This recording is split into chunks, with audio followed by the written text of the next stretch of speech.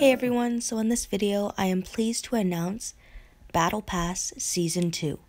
The first Battle Pass that came to the game went over extraordinarily well, and honestly I think it's the best value that has been introduced into the game. You get the most bang for your buck with this Battle Pass, and honestly I was even tempted to buy Battle Pass 1.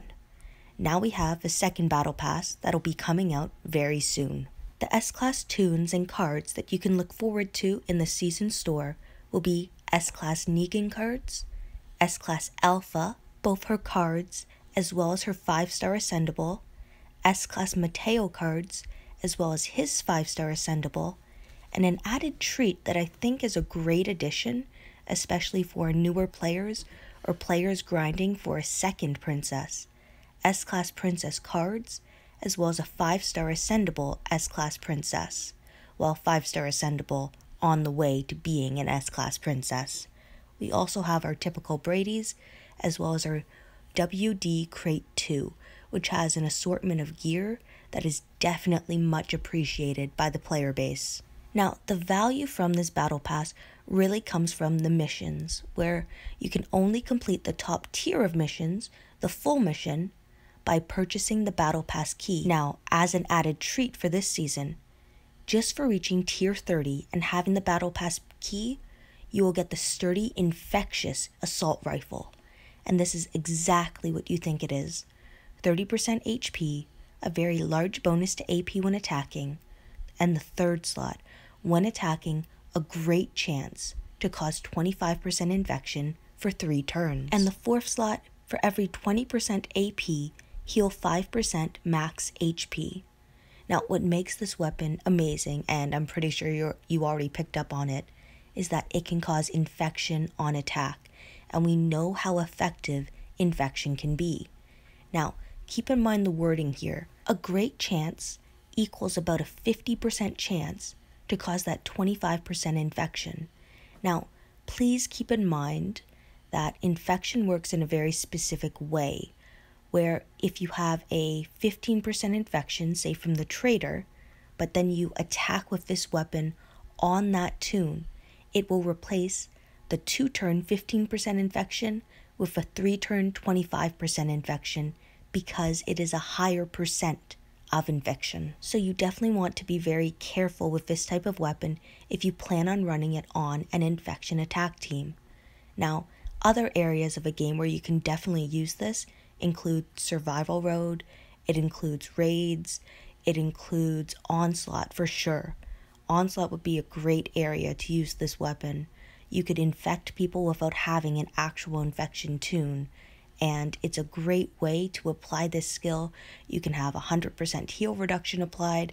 There's just so many ways that you can manipulate and use this weapon. It might be a little slow on a war team, for example, especially an auto one, where there might be some healing in effect, so it could be difficult to apply infection and keep it applied to the character without any healing. But overall, this weapon is a gem, and I myself, as a free to play player, got all the way up to tier 30. Now, of course, because I didn't buy the Battle Pass key last season, I wasn't able to get all the rewards, but now I'm even tempted. What's even better about this Battle Pass is that they updated the cards that you can get, so there's a variety of S-Class cards that you can acquire. So far, I've picked up now 400 Jackie cards. Uh, as you scroll through, you can definitely see some very, very good cards. We're now at 900 cards, 1,000 cards, 1,300 S-Class cards, 1,400, and now we actually get a pick of an S-Class toon, the 5-star Ascendable version. So this is a great addition for a lot of different players. Even if you're just starting out in the game, you have a lot of options here. And I like that they give you an option of a yellow, a blue, a green, and a red character. These characters are all greatly different and they all fit in different teams. Arav is a killer. As an S class, he is just a killing toon that is great on almost any team. He can fit well behind a Lily lead who we all kind of got as a free to play character from the House of Cards event. Wangfa, as an S class, pairs really well with Mateo as well as the Trader because of his 100% heal reduction active skill on the second turn. Dayu is a very interesting toon, being a lacerator with no bound weapon an active infection skill that is a, I think 150% chance, and then her rush, which both controls the enemy and applies bleed, makes her a very good supporting character. Gao, the last character here, is a little underrated but is kind of like a slower version of Dr. Stevens. His active skill is a 60% AP gain to two other teammates or to self depending on what toons have the most amount of AP. Now his initial cooldown is on turn 2, and that's why he's a little slower than Dr. Stevens. I do like that he can apply bleed and burn. He has a leadership skill which gives a huge bonus to AP to alert and fast. Now the downside is he only has a 75% heal reduction leader skill, but his rush does do area damage, so he's actually on a specific team of mine that has attack up when slowed because I use him to nuke teams that use impenetrable defense, just as an example.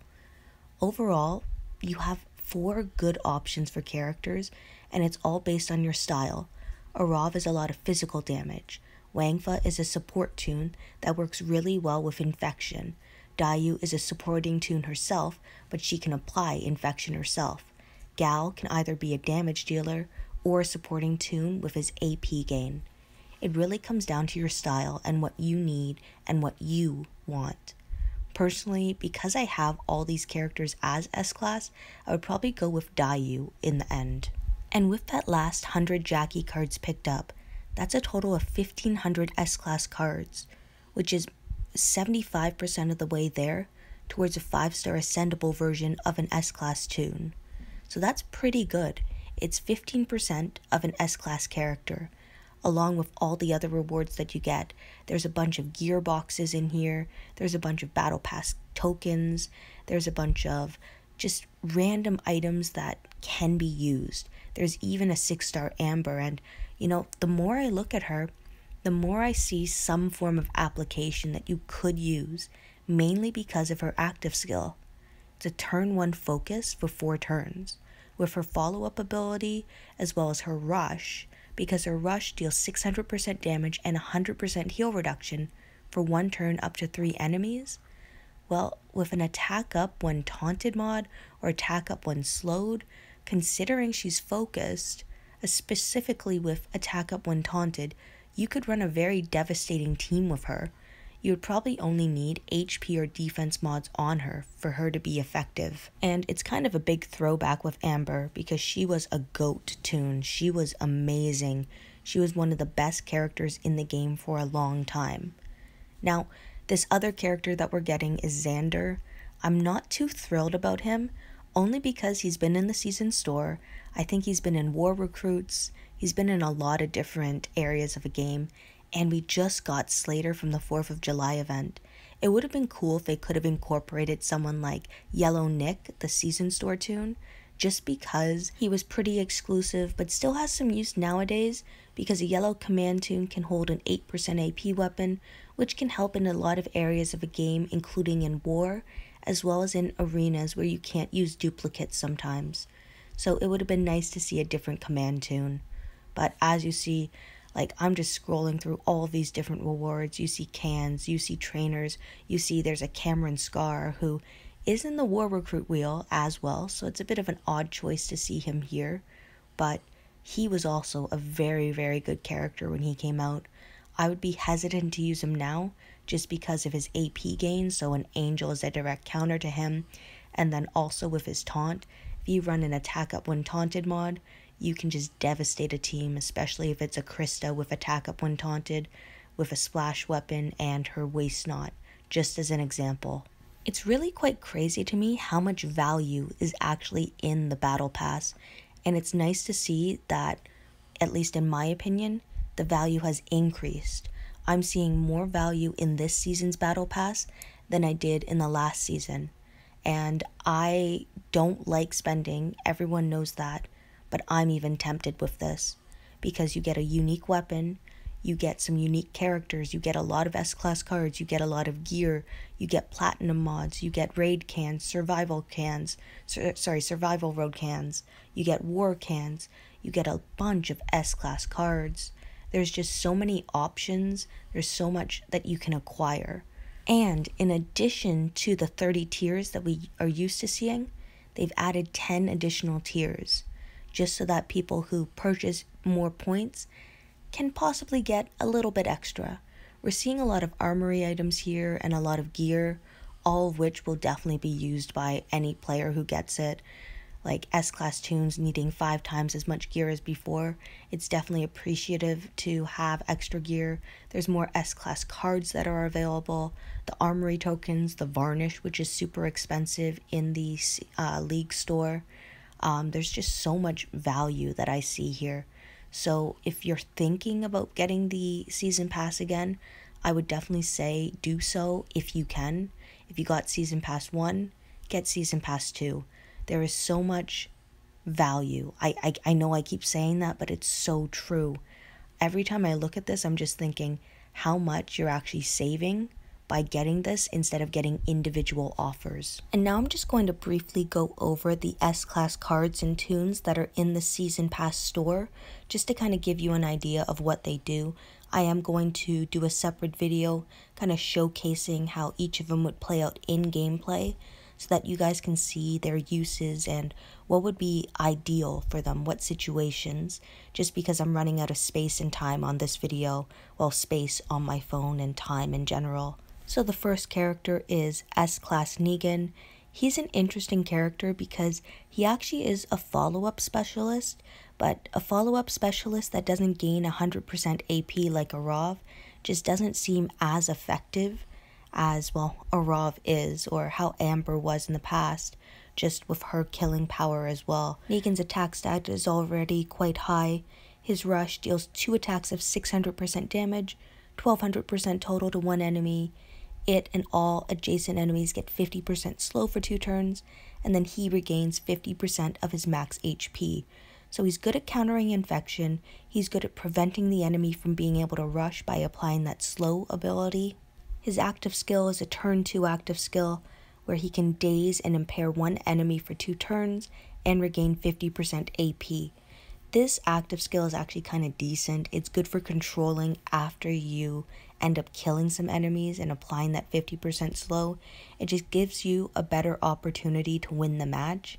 Like, it's kind of funny where you're going to be rushing and you're probably killing someone on turn two. Your follow up is going to activate, and instead of attacking, you're going to use the active skill to control the enemy. And still with Negan, you might think, well, those basic attacks, I'm going to trigger Reflect, I'm going to trigger Payback, I'm going to trigger Bide. But his specific weapon, prevents him from taking damage from any type of counterattack, excluding lightning reflexes, which technically occurs first. Also, keep in mind that his absolute defense type of weapon does mean he can still trigger payback. He won't take any payback damage, but other characters on your team can. Now, Negan is only a character that you're going to get, or at least his S Class cards, you're only going to get them if you buy the Battle Pass. Now, the next character is one that I'm going to be working towards S Class Alpha. This to me is the best character in the season store. She is going to have use so long as S Class toons are being used. She has a high attacking stat. Her rush at 76 AP deals 3 attacks of 400% damage, 1200% total, similar to Negan, to one enemy all other enemies get minus 50% defense for two turns. So basically, she's able to hit extremely hard. She's a disarming toon, so she's never going to trigger a weapon effect. She has a high likelihood of killing her target, but also applying minus 50% defense to all the other enemies, meaning she's a damage dealer, she's a supporting character, and she's a disarming toon. She also has a turn 1 active skill where she gains focus, plus 60 crit chance, and 50% attack for 4 turns. She also gains 35% of her max AP. So this is a great combination for this character. The more times she gets a critical hit, the more times she's able to disarm the enemy. Moving on to another character that is quite good, Mateo. Mateo is kind of the introduction to infection in some ways, or at least the grand scheme of infection where you can infect multiple targets at the same time. His rush isn't usually talked about. It's a 66 AP rush. It deals a small amount of damage to a line of enemies. They also get 50% slow, 75% heal reduction, and daze for two turns. Basically, it's just a way to control their rush as well as their active skill and prevent some healing, because his active skill is a turn 1 active skill where up to 4 enemies get 15% infection for 3 turns meaning if those four enemies can't recover the infection either by healing or recovering the infection directly as a penalty, they will die after three turns. He also doesn't come with a bound weapon, meaning you could give him something like an absolute defense weapon. And lastly, but certainly not least, is Princess. This character is a longevity character. She fits in so many different teams because of her unique kit. Princess is the epitome of a synergetic character. 76 AP, she deals 1000% damage to a line of enemies. She gains 50% bonus HP while battling on the defensive team. She also gets plus 30% defense for 3 turns. Now, what makes her great is her active skill. Her active skill is a turn 2 active skill. Up to 3 enemies get normalized and taunt for 3 turns she also regains 35% AP. Normalize being such a powerful asset in this game, it basically turns off specialist skills for a limited time. So paybacks can't payback, command toons can't command, human shields can't be human shields anymore, and so on. She also has a great specialist skill called Berserker, so every time she takes damage, her attack stat gets buffed, and this can actually stack with other attack stats or attack buffs, I guess. So that includes her weapon. Her weapon is so unique and it's very simple to make it even better. Just increase the attack, add a huge bonus to AP when attacking, make it a 5 star weapon, add Team Player 4, which is plus 15% attack and plus 35 crit chance to all toons adjacent as well as to self, and buff the attack a little bit more. Overall, if this is the direction of a season pass moving forward, I am very, very excited, and I think all of you guys should be too. There's lots of great options in the store for anyone to pick up. There's great value, there's great opportunity to grow and kind of get onto that even footing. Again, I'm going to have more videos coming out about these S class characters to kind of give you guys a better idea about how to use them, where to use them, and the mod sets, the weapons, and so on. I'll also be able to show you that infection weapon and I'll show you what I meant before about how the higher percentage infection will override a lower percentage, even if the lower percentage will expire, and I, by expire I mean kill the character faster. I think there's just a lot of intricacies in this game that are sometimes difficult to explain, so a visual will definitely help. Anyway, thank you everyone for watching and listening to my video. Let me know in the comment section below if you're going to pick up the Battle Pass key for Season 2.